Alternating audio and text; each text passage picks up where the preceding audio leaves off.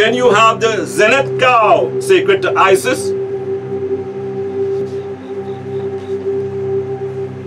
The Zenith cow, sacred to Isis.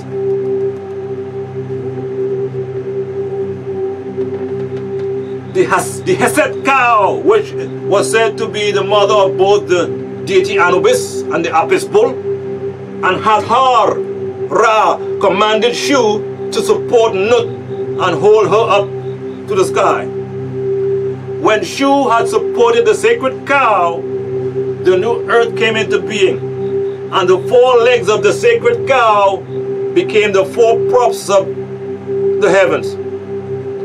At the four cardinal points, called in monotheism the pillars of heaven. The four pillars originated with the four outer stars of Sahu, which the Greeks call Uranus, Orion, Job 9.9, and the Hebrews call Kesil, Rigel, Bellatrix, Betelgeuse, and Saiph, looking from Sothis, which is the name that the Greeks called Sirius, as it is mapped on the constellation maps.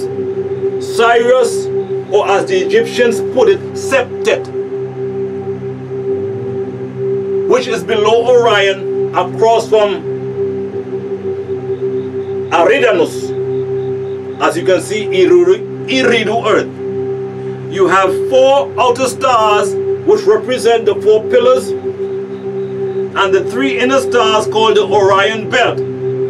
They are Alnitak or Zeta Orionis, Alnilam or Epsilon Orionis, and Mintaka Delta Orionis which points straight to Aldebaran onto Pleiades, which was referred to as the three dimensions of space and the four dimensions of time. So you get looking up from Sept to Sirius, which is where they get the name of the ninth month of their Gregorian calendar, September.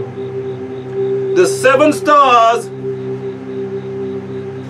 as they are called, and the three center of Re, Atumre, Atunre, and Amunre, the three stars of Sahu, Orion, were borrowed by the Christites as the three wise men, the Orion belt, and the Trinity, Father, Son, and Holy Ghost, symbolizing the great triad. This is a lot to digest, people.